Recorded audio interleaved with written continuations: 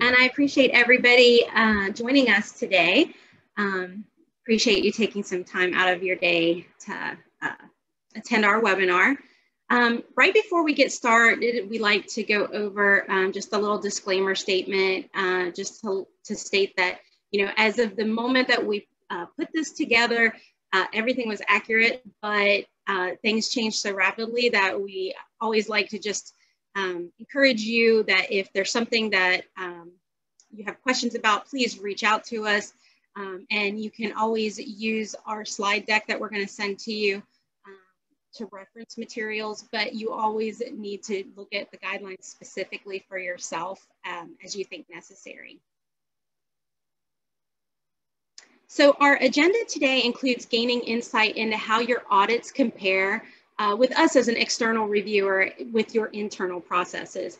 And our goal is to help you to determine future review areas of interest based on our previous and current findings and to decide how to prioritize areas of concern for specific MSDRGs, uh, procedures, services, or diagnoses, um, and additionally to identify trends and possible areas of concern that you may not have been aware of prior to our presentation, or just to verify that you're seeing similar outcomes.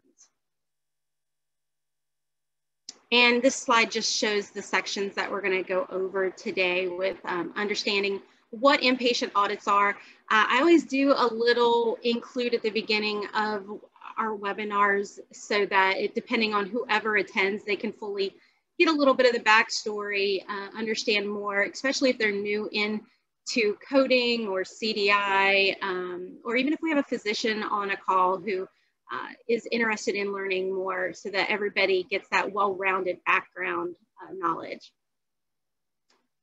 And so we're gonna get started. Um, let's go over a brief section about auditing. As I mentioned, um, there's many different avenues for auditing inpatient cases. In this slide, we're looking at inpatient auditing at a very high level overview. One of the most common types of audits is an external reviewer based audit in which uh, an auditor is not associated with the facility or the provider and they're just reviewing the records for discrepancy. And they can either be hired by the facility to do this or by um, a, a payer to review the claims. External and internal auditors may perform a DRG focused review where they look specifically at the MS or APR DRG that was reported and validate if this was the most appropriate DRG to report based on the documentation and then confirming that all MCCs and CCs were reported.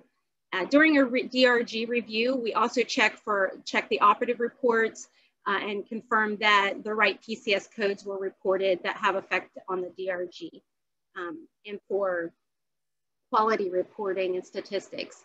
There may also be those quality-based reviews performed in which the documentation is reviewed for the continuity of care, where we check for ambiguity in diagnosis and validate the clinical criteria that's being met along with the patient's length of stay, their discharge disposition, and any follow-up uh, post-discharge care. Internally, a facility will perform also code or coder-based reviews, and the sole purpose of these audits is to just gauge whether a coder is accurately assigning their codes, and if not, then do they need to be put on a PIP, a performance plan, um, or if they need additional education moving forward on a certain area.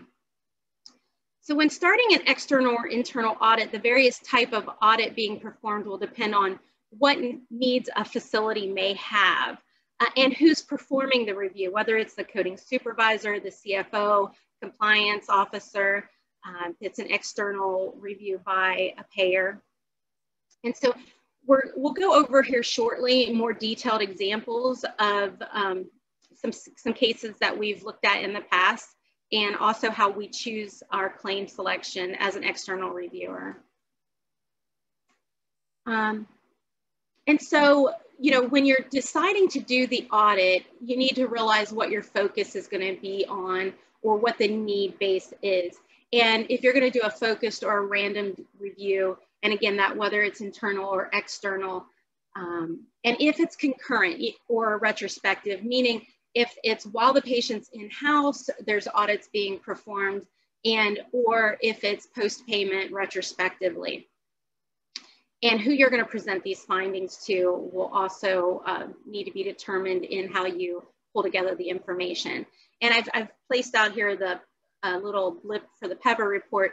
Facilities use that for um, checking those top 10 DRGs at their facility with an equivalent facility to see if there's any outliers between them. And if there is, then they would pull those out specifically to look at those DRGs. So as an external reviewer, we partner up with each facility to augment what they currently have going on with those internal audits. And we can help facilities by looking at claims with their own specific criteria, such as certain specialists or specialties that may have just come on board where the coding staff may be uncertain as to how appropriate their code assignments are, and they just need an external reviewer to give them some feedback. Or we can use our own proprietary DRG selection as a basis for claim selection. And we generally, as an external reviewer, look solely at retrospective reviews, but there, there is those opportunities where facilities will hire you on for concurrent reviews, uh, trying to solidify those DRGs before they go out um, for billing. And the basis of these external reviews, well, for us is specifically, um, we like to look at the whole gamut. You know, we try to look at the discharge disposition, the present on admission indicators, severity of illness, risk of mortality scores. We look at uh, the full clinical picture for the CCs and MCCs as uh, well as the principal diagnosis selection and any readmission issues with diagnosis such as congestive heart failure or MIs, uh, pneumonia. And by doing that, we feel like it's a really well-rounded audit that can encompass several areas of reimbursement and quality uh, based areas. Auditors also like to review queries to ensure that they're not leading, they're, um, or that they're not missing altogether and that they're just clinically relevant to the case. And some facilities don't incorporate their queries into the EMR and uh, we've been told that this is due to them feeling that it may be considered a liability if something goes to litigation, but um, others feel that you know, the ability for an auditor to see and utilize previous queries in their reviews is a better gauge of how well they're actually doing. And um, for me, as an external reviewer, my opinion is that seeing those queries can um, help me in making the most appropriate recommendations uh, and understanding if the queries are being um, performed timely, if they're appropriately written, if they're clinically valid or relevant, and um, just knowing that the opportunities haven't been missed with doing a, a query either. And it just helps us to be um, more reliable and useful to the facilities when we're giving our feedback. And that way it's not just such a blind review. But I can see both sides of that. Um, but again, I think that uh, a facility might get better feedback um, and know about areas of being non-compliant possibly if those queries were attached in the EMR in a way that could be reviewed. Most facilities have an internal team of concurrent reviewers that can range from coding staff to the, the CDI team. And during these concurrent reviews, the goal is to clarify ambiguous documentation from the providers and to gain agreement between coding and CDI on what the principal diagnosis may be. So to go from that working DRG to uh, the final. And this just ensures that there is a very accurate and clear clinical picture and that there's no concerns for areas to argue later um, that could result in a denial. Another great area to look at for auditing is your denials, as we just mentioned. This helps with determining additional areas of concern uh, that you may want to work on for preventing future denials. In this slide, we included some MSDRGs that we noticed insurance companies focused on in 2020 that related to uh, CC or MCC for how that DRG's payment is, um, is placed. As you can see, each MSDRG is affected by the inclusion of a CC or MCC, and we even see instances where a claim may have several CCs and only one, C, one MCC, and they'll target that MCC because of the effect on the payment. And this slide is a continuation of that previous one. Um, however, here we show some um, more common DRGs that aren't necessarily based on that CC or MCC inclusion and could be more about the principal diagnosis selection or both the principal and procedure uh, selection. So here I've added some of my office humor, um, trying to lighten it up a little bit. But some of the denial rationale that you will see, and I keep mentioning denials because um, a lot of times that's where um, you know an auditor is going to focus. But a lot of what you will see won't be a surprise um, and will include areas that a reviewer would already look at anyway um, with that one CC or MCC. And this is common with payers and facilities know to look at this. Uh, an example would be, you know, congestive heart failure and reporting pleural effusion. They're going to target that.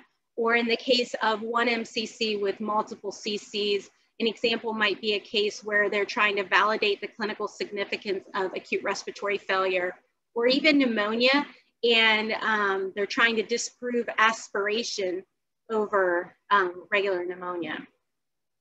Uh, procedures are another area we have seen a lot of denials in the past with bronchos, uh, bronchoscopies and whether they were diagnostic versus therapeutic and that character usage within the PCS procedure code. We've seen issues with sequencing for the principal diagnosis, such as pulmonary embolisms um, and hemorrhagic disorders versus a bleed or blood loss anemia as principal. And sepsis uh, has been an issue for clinical validity for probably going on two years now. Uh, but earlier last year, we've seen an issue with um, sepsis as a secondary diagnosis and a POA of yes. Um, and that is going to be a target internally and externally, um, but well, primarily internally. Um, you know, sepsis as, as a secondary with a POA of yes, it would not happen. It would, um, because of sequencing recommendations, would be uh, principal diagnosis if it was uh, present on admission in general. A few other areas of concern, MSDRG 673, we've seen it picked for review of clinical significance with acute renal failure. Um, and then those MSDRGs for 980s, always um, facilities should look at these prior to billing. Uh, no claim in that section should ever go out the, out the door being billed without being reviewed previously. Um, we see a lot of instances where there's just a discrepancy either with the principal diagnosis or within the procedure code itself. There are those instances where it, it is appropriate to report, especially if they came in for one thing and something else overarchingly took over in the care. So as you can see in the previous slides for denials um, that we mentioned, those scenarios show one reason for auditing. Uh, in order to ensure that payment is accurate and appropriate, uh, facilities also perform audits uh, for other methods to improve quality of care for their patients and to ensure safe outcomes of care. And just to, to ensure that their quality is, is reported properly. Another reason for audits is to ensure the accuracy of the coding staff. Uh, some audits are used to rate employees for performance appraisals and regular internal and external audits help facilities to be overall healthy and compliance, their revenue, patient safety, uh, and patient satisfaction. And I also made note, now this is a little bit older now, uh, but a few years ago, um, Change Healthcare made a statement from some of their reviews that for the typical health system, as much as 3.3% of their net patient revenue, on average, almost 5 million per hospital was put at risk due to denials. So it, it just puts um, an emphasis on that financial relevance of how much is at stake for facilities when performing their audits and handling their denials. And of course, auditing is important for staying compliant with Medicare and Medicaid, as well as commercial payers. And just to make note as well, um, the Medicare Managed Care Manual and Medicare Advantage Plan notes that routine monitoring and auditing is recommended. Proactive auditing by facilities can ensure that upcoding or inappropriate charges are not happening, and it strengthens their program's integrity and also ensures that facilities and providers are not penalized for improper payments or receiving limited access to their government programs. An example of an audit that facilities will face with Medicare and Medicare Advantage organizations um, in this year will involve COVID reporting on inpatient claims with the use of the U07.1 for COVID-19. And this will result in a 20% increase in their MSDRG payment. So they're, they're definitely going to take a look at those claims. And um, as of September 1st, they are requiring a positive COVID viral test be on file and that it had been performed within 14 days of admission and on the record. And they do note that there is some extenuating circumstances where they'll let that ride, but they are going to perform audits on these. Um, so you're going to want to make sure that your facility is monitoring that. And so with these, this will be a post-payment audit, and they're going to try to recoup that additional 20%. And if your facility is struggling with this um, and you want to avoid, say that you do have a patient who their test was maybe 30 days prior to admission, they're still having some respiratory um, symptoms, but it's nothing severe enough. They're not in isolation anymore. They're um, they're they're not having remdesivir or convalescent plasma being administered. Uh, there's really no treatment. It's just a notation in the chart it's up to the facility whether they, how they go about reporting that. Um, if it's clinically significant, you can report it. Uh, if you want to see how that pans out with payment um, and a post bill or a post payment audit, you, you can determine that. Or you can add um, an NTE 02 notation to your institutional bill that notes that there was no positive test on file and that you're waiving that additional 20% so that you don't get penalized later. Additionally, CMS is offering uh, above the 20% more add-on payments uh, due to their um, new treatments add-on payment um, program NCTAP for uh, these inpatient claims. And that's going to be based on whether the patient has received those administration of the medicines, such as what I mentioned with remdesivir or the um, convalescent plasma. So, you know, COVID does bring some new things to the picture for review with auditing this year. Um, but we just wanted to add those, those brief items there. I'm sure we're probably going to see uh, things as uh, COVID expands um, we might see other areas of concern. And some more of my humor.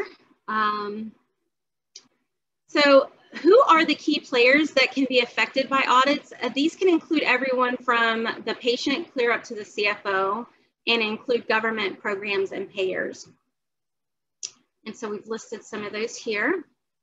So now let's move on to some challenges that coders face and some examples of these reviews. Coders, like everyone else in the hospital setting, are under a microscope and are expected to work tirelessly with production standards that don't match quality and accuracy standards or rates. And coders have to complete claims timely while ensuring appropriate code assignment, DRG assignment, that they're meeting those productivity standards.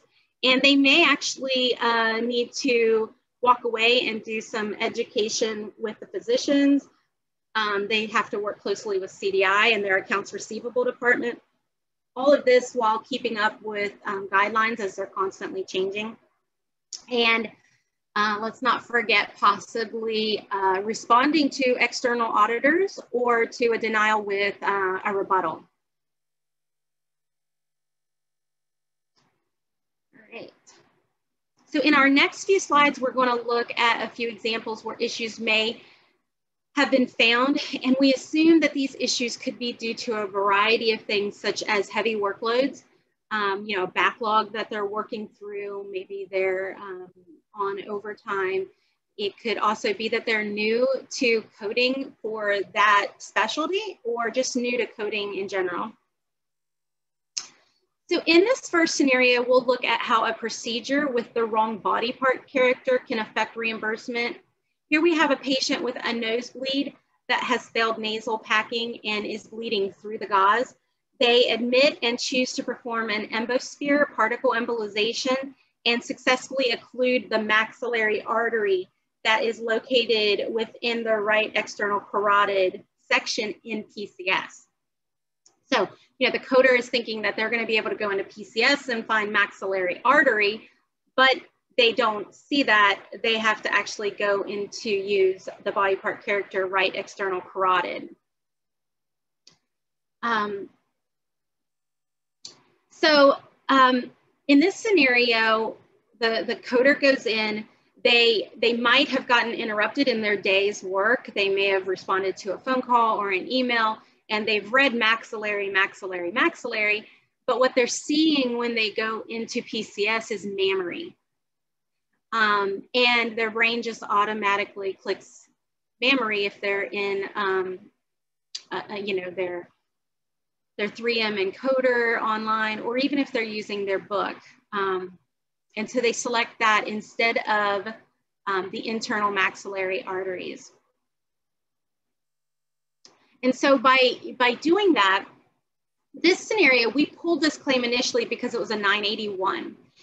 And through, um, you know, looking at the procedure code and uh, drilling down on it, we found that um, it actually needed to go into MSDRG 143 and that this was an $11,000 decrease due to that, um, that missed body part character. So just one digit in the entire um, seven digit PCS code affected that whole reimbursement for that claim. And, you know, a coder opens this up and, and you know, this claim and it's just a nosebleed. You don't think that um, it's going to have that kind of an impact. Here we have another example. Uh, we see how a procedure code with selection of the diagnostic versus therapeutic character can affect reimbursement. And again, you know, productivity uh, can make this difficult, uh, especially if the documentation is a bit ambiguous. Um, and we have a scenario later in the slides where you'll see if it, depending on if it's a, a, a smidge of a sample in a biopsy, you know, that would be diagnostic versus an entire section of something being removed for a therapeutic use can affect the payment. So in this example, uh, we have a bronchoscopy.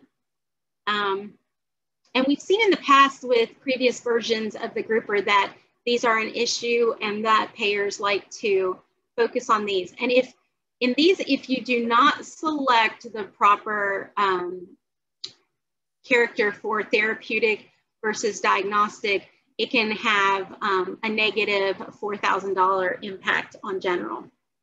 So bronchoscopies are another area of concern. And here we have a scenario that started out being reviewed for, the, again, MSDRG 981.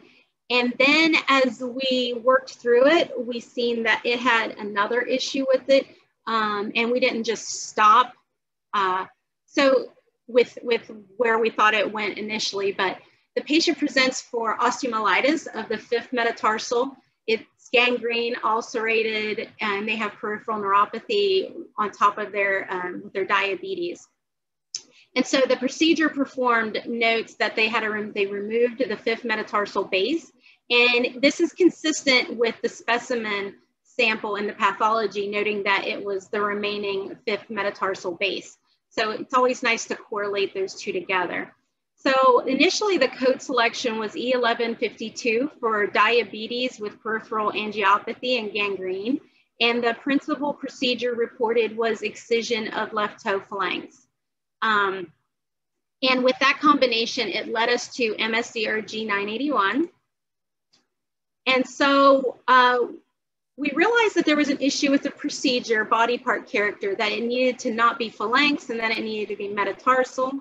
And that pushed it into MSDRG 987 and started us off with around an $8,000 decrease.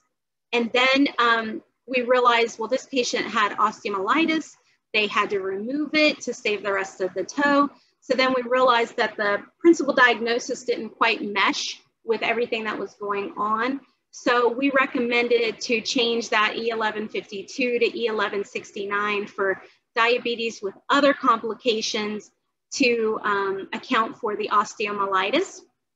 And by doing that, it took it again, you know, from a 987. So we were at 981, now we're at 987. And with this change, it brought the MSDRG to the more appropriate 628 and it decreased still, um, but not as bad as the 8,000. It decreased it to 6,000 for that one. So as you can see, we didn't stop once we got out of 981 and we got to 987. We still drilled down to make sure that everything meshed properly between that principal diagnosis and the procedure, the reason for coming in, and the overarching uh, treatment. So we have a few more examples for, uh, for this coder section, um, but there, um, these were some really good examples that we had from early 2020 and late 2019 that, that had such good insight that we wanted to include them again in this year's webinar. And so here we have an example, patient is found to have an atrial myoma, and so they need to have it excised or resected. So initially, this was reported with excision of left atrium, open approach diagnostic. Um, documentation on the procedure report notes that they removed everything. They were very adamant that there's no residuals. They got rid of everything and that they performed a left uh, atriotomy.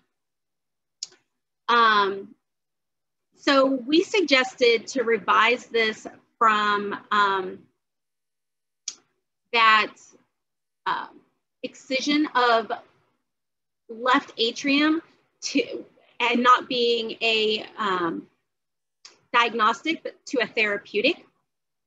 And by doing so, that took it out of that 981 DRG and took it to a 228.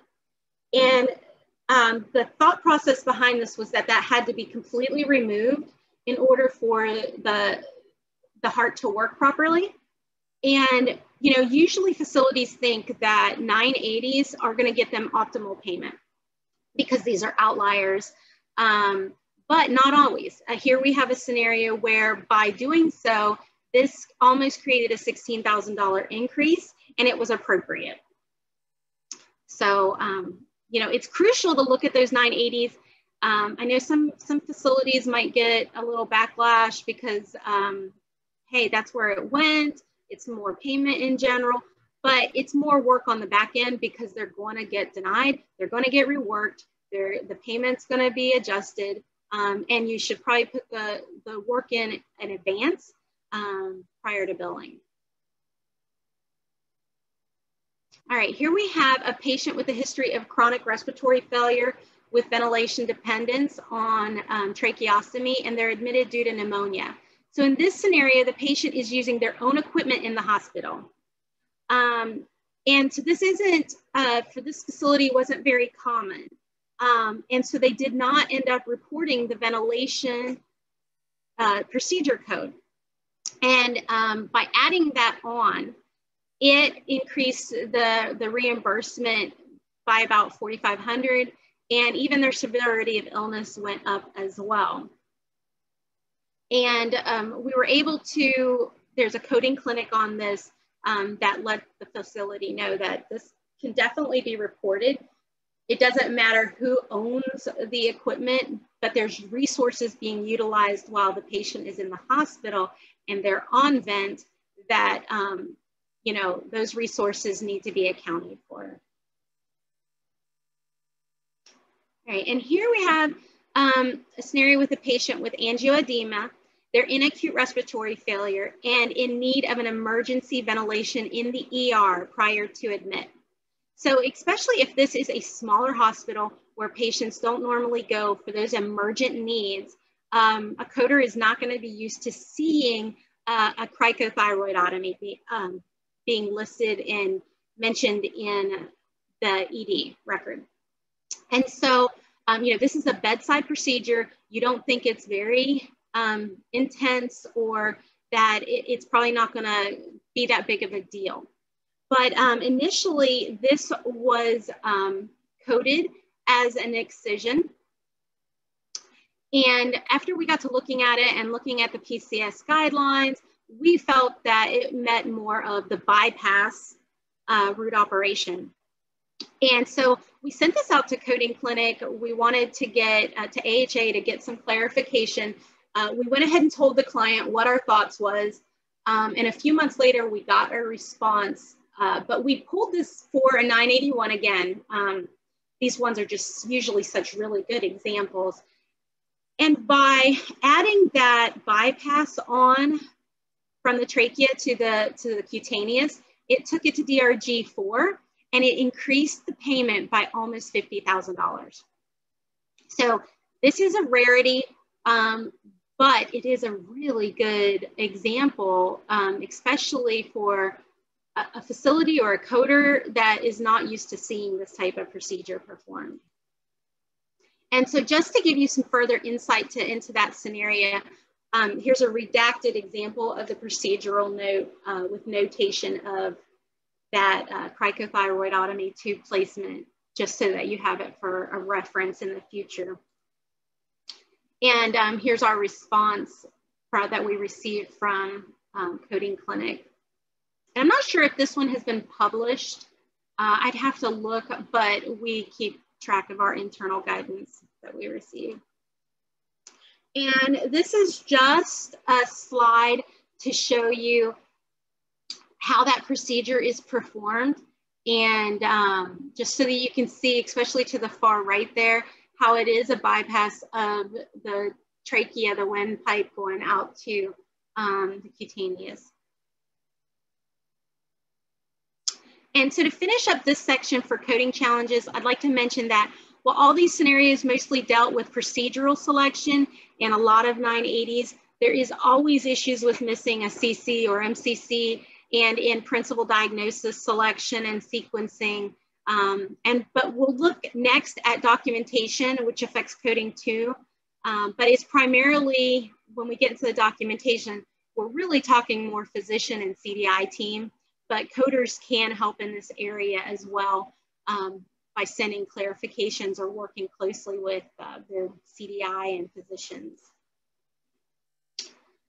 So as we mentioned in our previous section for coding, um, the clinicians and CDI staff have very similar struggles. They're managing their time, queries, monitoring, um, you know, their unanswered queries, reviewing documentation, um, you know, working through payer issues, getting their education, and writing rebuttals, or helping with rebuttals. And, and a huge key to the success for facilities includes that whole team, coders, CDI, clinicians.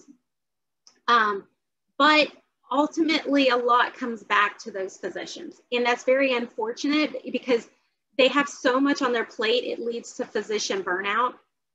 Um, and a lot of facilities, a majority of facilities are using physician liaisons and champions to help out with that and to um, also help the CDI and the coders get the answers that they need, um, get those queries responded to and denials. And another issue that we see a lot of is, you know, a, a physician, they really struggle with, they, they have a CDI team that might be telling them one thing, a coder might be telling them something else. Then they're seeing the denial from the payer and they don't really, you know, they're danged if they do, I guess, and they're danged if they don't. Um, by you report it or you don't report it, which uh, clinical criteria are we going to go by? So everybody really needs to work together, but um, for educational purposes, really um, one team and a team approach is best so that the physicians don't have all of that uh, confusion and contrasting information being given. So moving on to examples for trouble areas for physicians and CDI. Um, so this chart was pulled for review with respiratory failure, and it was the only MCC on the claim, and it was reviewed pre-bill, which was great. Um, but this is also a good example that you're going to see as a post-bill denial. Um, so here the, we have a patient with severe COPD. They're on supplemental oxygen, and the patient presents to the emergency department with a chief complaint of right-sided chest pain and cough. So acute and chronic respiratory failure with hypoxia is coded as a secondary diagnosis. And, um, you know, because it's at only MCC, it's trying, the payer's trying to remove it to reduce that payment. And by doing that, it's going to take it from DRG 177 and take it to 178 for about a $4,500 decrease. So the clinical picture um, on the H&P documentation, the patient's admitted, ad, admitted for chronic shortness of breath requiring two liters of oxygen via nasal cannula throughout the day and four liters uh, at night. Physical exam, their respiratory rate is 16, their oxygen saturation is 95, and their respiratory bilateral, um, they have crackles and wheezing, but they're stable on the two liters. So um, the documentation on this is uh, a little weak for validation, for validation um, because they have um, chronic hypoxic respiratory failure. And um, in general, with that, um, you know, a, a, patient can't usually be put on home oxygen until their SATs are at 91%. And so they put them on uh, that oxygen to bring them up above to 92% or higher.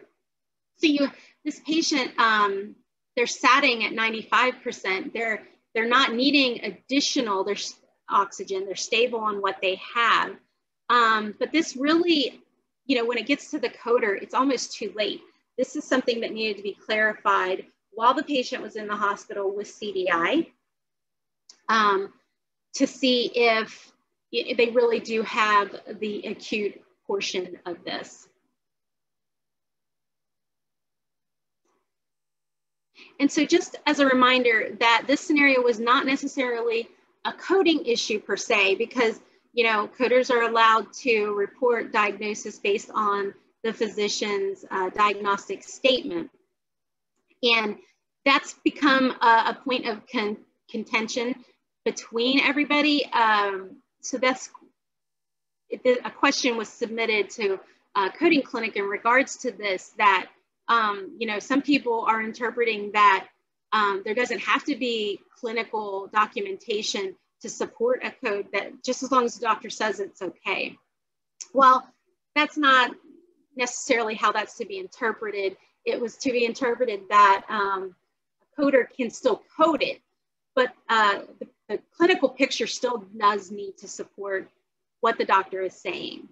Um, so we do still need to send clarifications and I know coders can sometimes feel um, inadequate to send those, but you know, I think it just takes getting um, used to um, reviewing things um, and looking at the clinical picture more, and that it is the responsibility of coding to be familiar with that, whether it's through uh, working with CDI and getting educated through them, um, working with your providers or working on your own to get more education or going off and getting that education anywhere it's available.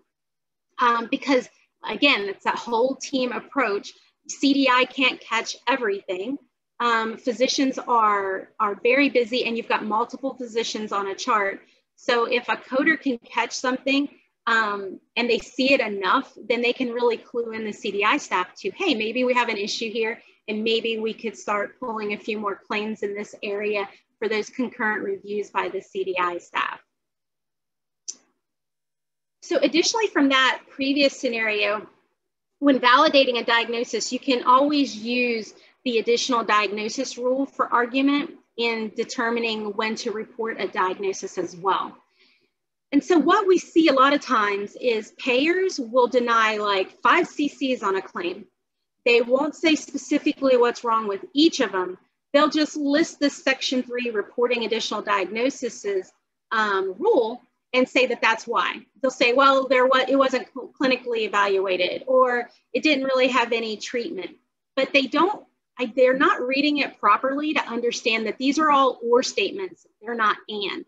So um, that is something that if you do, would happen to get a denial and a payer is using this as their argument, we need to just remind them that these are or statements and um, that that's not all encompassing. And an example that we've had recently was um, we had a payer deny a patient's UTI diagnosis. They said that um, it hadn't been evaluated because they didn't do um, a urine culture. Well, in that scenario, this patient came in um, after being treated for a UTI and they still had three days left of antibiotics to be treated, but they came in for another condition.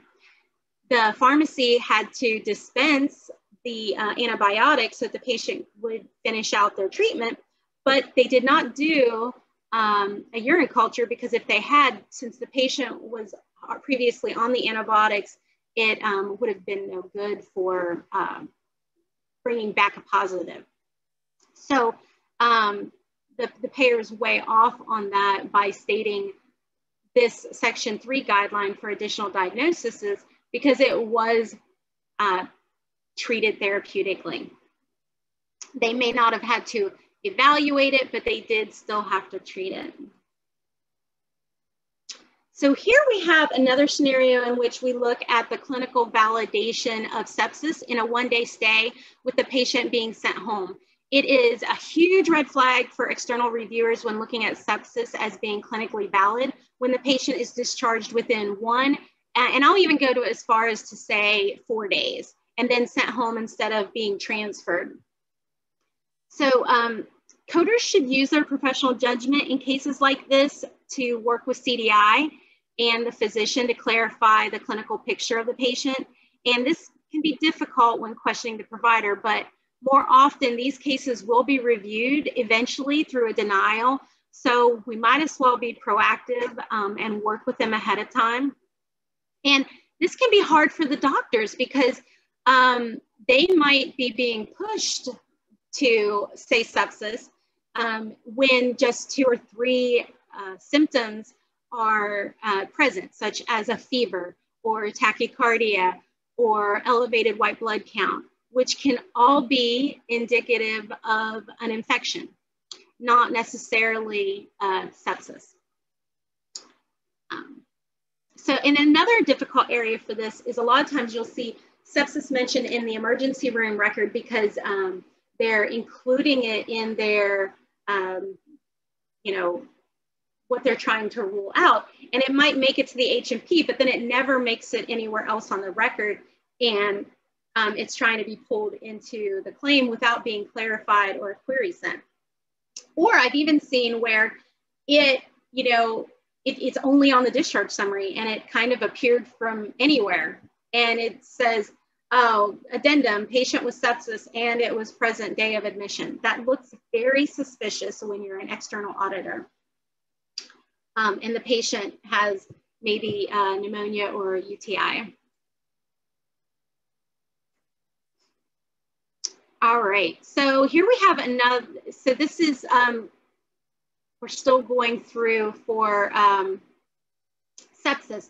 So this is the clinical picture, normal white blood count, no fever, lactic acid is elevated, elevated total bili, um, elevated albumin, elevated ALT, and elevated um, granulocyte. So um, sepsis is not listed on the final discharge summary notation, and it's only in the ED and H&P. Progress notes and discharge summary state chest pain likely related to GI symptoms with the, the troponin and telemetry negative, and to continue them on uh, the PPI. Um, most payers are denying instances in which the clinical picture could support other um, comorbid conditions other than the sepsis, such as alcoholic dependence, where there's liver enzymes are elevated and lactic acid levels are elevated, um, and could be the possible indication in this patient. um, payer uh, may suggest the principal diagnosis of sepsis be removed and replaced with either, um, in this case, it could have been cellulitis or the gastritis. Um, and we determined to go with uh, the gastritis. Um, and it, it, appeared to us and to probably the payer that the sepsis was ruled out. And here we have a chart where there's only one CC on the claim in a case of sepsis as principal. And we are questioning the validity of sepsis, which would end up taking away um, the CC. And so this patient had was noted to have sepsis throughout the chart with ureteral stone and hydronephrosis. And the sepsis criteria may be questioned with the patient only having um, a low grade fever, a white blood count of 18,000, but then their lactic acid was not elevated. So, you know, the coder could um, report the sepsis. It's, it's been documented by the provider, but the payer is probably going to deny this and state that this is just a local infection with the UTI. Um, so sepsis, it's the big hitter for us this last year and the year before, and I think it's going to continue on. Um, and I think it's going to take a lot of work between um, facilities figuring out exactly how to um, audit these, report these, and working with their payers to make sure that their contracts reflect appropriately what is expected, especially um, the more and more I've read sepsis 3, you know, we all know that it's for ICU patients. Um, outside of the ICU, it's, it's more of just a suggestion. Um, and if you even read into it further, it has not been clinically validated. It's solely a suggestion um, and that you can't only just use the QSOFA, you have to use the whole SOFA scale or score to really reflect patients. But ultimately, we want the providers, if they, they think there's possible sepsis, that they treat them that way. And so this is our last example of documentation issues for physicians in CDI. Um, this chart was pulled for review of respiratory failure as the only MCC on the claim. Uh, patients admitted status post total abdominal hysterectomy. Um, by removing that acute on chronic respiratory failure with hypoxia, it moves it from 742 to 743 with um, a little over $4,000 decrease.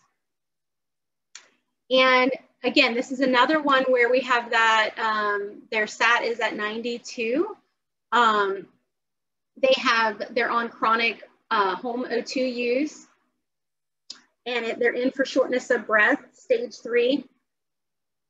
And um, I, it just, they were prescribed their normal amount of oxygen. I think it's going, it, it would be one where, uh, as I mentioned earlier, they're not really showing a major decrease in, uh, in either their saturation or elevation with their O2 needs. Before we finish up the clinician section, uh, we wanted to include a slide that shows those areas that continue to impact denials with clinical validation. So there's not been a lot of change from 2019, and I don't see there going to be a lot of huge changes in 2021. Um, the definite issues seen related to clinical validation, uh, acute respiratory failure, encephalopathy, whether it's toxic or metabolic, and of course, sepsis. Uh, we have seen that malnutrition and acute renal failure has gotten better, especially with renal failure and notation of a baseline. So speaking more on sepsis, uh, we wanted to briefly give you a quick notation of trouble areas for sepsis that we're seeing. So, you know, being having sepsis noted in the ED and not carried forward wasn't ruled out. Sepsis syndrome being said, um, that is not an acceptable diagnosis for coding purposes. Um, urosepsis still being said when it, it basically is meaning UTI. Um, SIRS with infection has popped up numerous times recently. I'm not quite sure. Um, I think it's just that disconnect between being a clinician and being a coder. Uh, I think it's going to take educating the providers that that equals local infection and not systemic infection for you. Um, that if it's truly, they feel that it is SIRS with infection or due to infection or sepsis due to an infection, that they need to state sepsis and relate it to the infection and look for an organ failure. So as you can see, uh, preventative audits as a pre-bill for areas of concern will definitely help keep you from getting into the denials circle. Um, but it really needs to be everybody on board and it's all about that documentation. So your audits can help you with those denials. They can help you with the documentation. They can help you work as a team together to see everybody's side of how um, the tasks are divided, and but it all comes together at the end. So we're gonna wrap up. I did wanna show some slides with some stats on them. Here we did a comparison of our results from 2019 and from 2020, um, and where our biggest shifts and errors were. And the coding issues went down a bit from 63% to 57, which coding is generally your highest area anyway. But um, it was surprising to see that documentation issues went up from 26 to 32%. And I, I assume that this is due to the sepsis and the respiratory failure issues that we're seeing. Um, and next, uh, we have the combination for issues at 11%. And that relates to all areas of errors with uh, documentation and coding on claims. And that can be for multiple reasons. Uh, one claim might have an issue with principal diagnosis selection to validation of sepsis or missing documentation that was needed for the procedure to be coded properly. And this, this comparison that we have here, it might not be indicative of your facility, a lot goes into our audit selections from um, using our own proprietary uh, DRG selections or um, certain diagnoses that we target that um, we feel we've seen um, issues with in the past. But facilities also request specific reviews such as, um, you know, they may have a certain physician that came on board that's doing vascular procedures that they've not seen before. The coders want to feel more um, uh, yeah, assured that they're selecting the appropriate codes. Uh, so depending on how an audit is selected, what claims we review really affects these statistics. So it's not um, apples to apples. Um, there is a little bit of skewing in the data, but overall, I think you would facilities would probably agree that coding is the biggest area where there can be um, variances and then followed by um, the documentation. So if we look solely at 2020, this gives us a nice overview of where our findings were for this 12 month of statistics um, out of those claims that shifted. 57% of those were due to coding, um, and this could be, like I said, a POA selection. It could be a missed query, procedural code assignment, um, inappropriate CC or MCC reported or not reported. And then for the documentation, um, this could be unanswered queries or clarifications. Um, and that was at 32%. And that could even be missed queries not being sent. Um, and then again, that combined area of 11%. And I'm not sure, it will depend on your screen size and resolution if you can see this very well, but we do have another slide that, that lists it out specifically. So here you can see at first glance, the top MSDRG that had the issues for this year was sepsis. I think it would be a surprise to see anything different than that. Um, but this comparison just shows how, heavily sepsis has been hit compared to the other MSDRGs that we've seen shifts or um, issues with. And that sepsis, again, that's, that's based on payers um, trying to force facilities to use sepsis three criteria instead of sepsis two. Um, go to,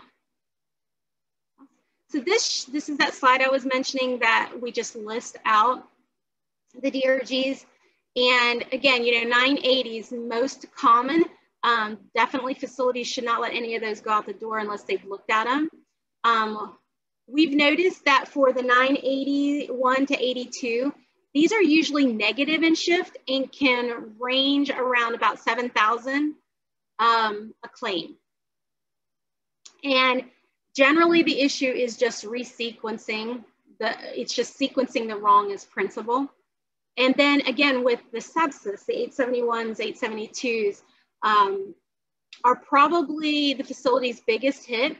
And on in general, just one of those usually shifts by a negative 6,000. So if you're a smaller facility, and let's say that you have five cases a month that a, a payer is denying, and um, that could lead to $120,000 in um, weak revenue that was expected and now is being taken back just in one quarter. Um, and you know, facilities are definitely aware of this, but they just may not know how impactful this is. And this is where CDI really needs to know what's being denied. If the denials are coming to the coding department and the coders are taking care of it themselves and they're working hard because it's a small facility, they don't have a phys physician liaison, they don't have a physician champion, um, they don't have a good relationship with CDI, CDI could be pushing sepsis to show how um, uh, impactful their job is and how much more reimbursement they're bringing in. But the amount of reimbursement that's being lost in reworking these claims, in um, the coders not being able to code the claim or code claims because they're working on denials, it, it's just getting um, eaten up on that back end, what is initially being thought that it's coming in at the beginning. So, um, you know, those relationships need to be built. Um, CDI needs to see those denials and the physicians need to see them too. It's got to go straight up to the source of the documentation for it to ever get any better. Uh, so we appreciate you taking time out of your day and spending it with us. Uh, this slide finishes up our presentation. We hope that you found the content helpful to your role. And as always, we enjoy this opportunity to present our findings to you. Um, the next few slides just include our resources. And again, um, we didn't accept any Q&A live, uh, but if you wanted to send those in the chat, we'll get those back out to you within 10 business days. and then I believe uh, later today, you will get um, your uh, CEU certificates, and I'm not sure, maybe the slides, and then the Q&A would come later. Yeah, perfect.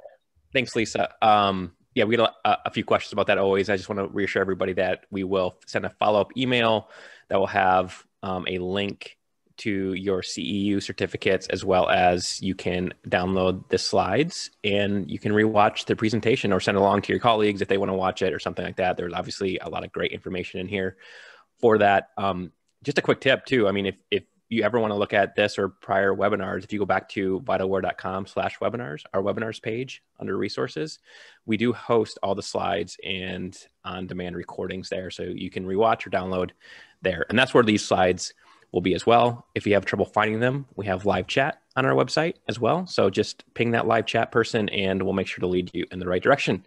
Otherwise, thank you so much for attending today. And uh, we have another web- webinar next week. So check that out. And hopefully, we will talk to you soon. Have a great day, everybody.